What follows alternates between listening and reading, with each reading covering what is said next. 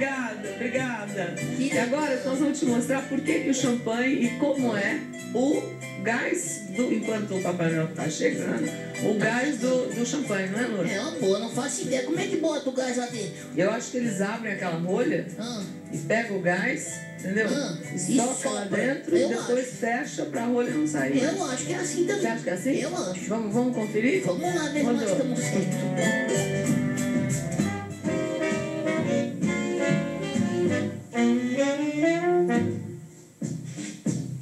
Promessas de amor, quantos votos de felicidade, quantos desejos de boa sorte não vieram acompanhados do espocar de uma garrafa de champanhe. A bebida dourada, insinuante, se difere dos outros vinhos por causa do véu de espuma que se forma na superfície assim que é colocada na taça e pelas inúmeras bolhas que surgem em seguida no interior do copo e sobem como delicados fios de pérolas. Isso torna o champanhe uma bebida instigante, sensual, cheia de aromas que estimulam os sentidos, sobretudo os dos conhecedores do assunto, como o sommelier Manuel Beato. A acidez unida a esse gás carbônico é que dá esse frescor e que faz relevar mais ainda os aromas e dá essa sensação agradável, esse, esse brilho na boca, o brilho das gorduras. Quando ela estoura, pega e dá aquela molhadinha na ponta do nariz. Ah, verdade, é verdade. Essa explosão, sensação deliciosa, né? O champanhe surgiu por acidente. O vinho feito na região de Champagne, no norte da França, ficou com bolhas de gás carbônico depois de uma súbita mudança de clima na Europa. Os franceses detestaram aquilo. A Igreja Católica, que era dona dos vinhedos, convocou o monge beneditino Dom Perignon para acabar com as tais bolhas indesejáveis. Enquanto isso, o vinho cheio de espuma caiu nas graças dos ingleses. E aí, Dom Perignon teve que fazer justamente o contrário, inventar uma técnica que aumentasse a quantidade de bolhas. Os ingleses é que gostaram desse novo sabor e a partir daí desenvolveu-se o hábito de se apreciar o champanhe.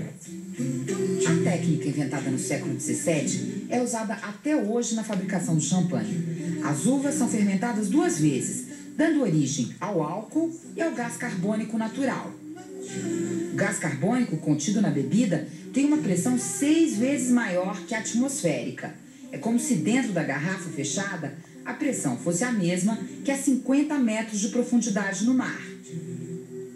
Quando você abre a garrafa de champanhe, você tem a explosão, você tem aquele estouro, aquele pop. Por causa que a pressão dentro da garrafa e no, no líquido é seis vezes maior do que a pressão que a gente está aqui. Depois que a bebida é colocada na taça, a pressão vai diminuindo até se igualar com a pressão atmosférica. É nesse processo que nascem as bolhas. Há séculos tenta-se compreender a formação delas no momento em que a bebida é servida no copo. Numa taça se formam até 2 milhões de bolhas se a bebida não for consumida. O tamanho e a abundância dessas bolhas são vistos como atributos da bebida numa roda de degustadores. Mas uma descoberta recente, feita por físicos franceses e brasileiros, colocou em xeque essas convicções. Com essa pesquisa, é, nós descobrimos que ah, as bolhas são mais uma propriedade do ar, que contém umas partículas celulose, do que da bebida em si.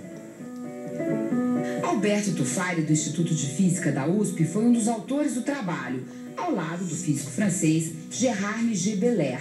Nesse livro, o francês desvenda que as bolhas do champanhe nascem em pontos do copo onde há minúsculas partículas ou fibras de celulose que vêm do ar que respiramos. Em outras palavras, são como uma sujeirinha que não faz mal à saúde.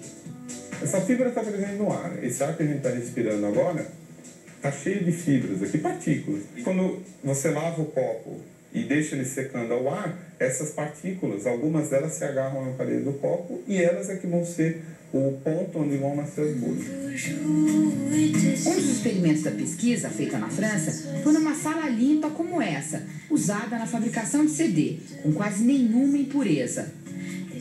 Aqui nós temos milhões de partículas ao nosso redor. Nessa sala limpa você tem algumas dezenas só, que é impossível você não ter nenhuma. O champanhe foi colocado na taça, nessa sala limpa, e ele não borbulha. Ele parece um vinho calmo, um vinho sem bolha. No Brasil, os físicos concluíram que as bolhas se formam obedecendo a padrões previsíveis.